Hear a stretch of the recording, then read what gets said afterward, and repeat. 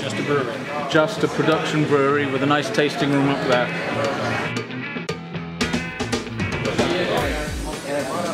Is there anything prettier? The only thing prettier than you is you doing that. Aww. Or smell beer goggles. This system we can get up to about 8,000 barrels. He put it onto eBay. I bought it off eBay at, at just, I mean, the tiniest fraction of its original price. What was the shipping on? Brutal. we started off with such a great break.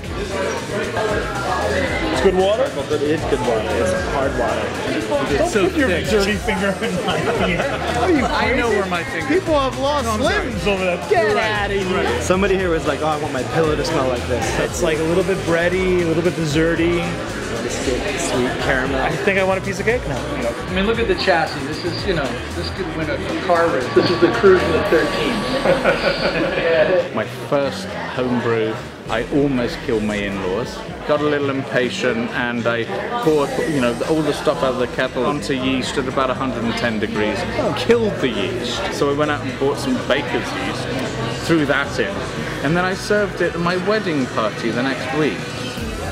People were just going down like flies. It's hard to brew a good beer, and it's really hard to brew that beer again.